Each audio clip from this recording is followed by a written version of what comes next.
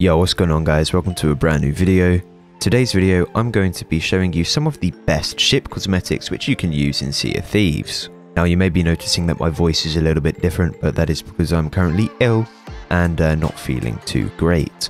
But uh, without further ado, uh, if you guys enjoyed this video, then please consider subscribing, share it with your friends, and leave a comment telling me what your favourite ship set was. With that being said, let's not waste any more of your time, let's get straight into the first ship design.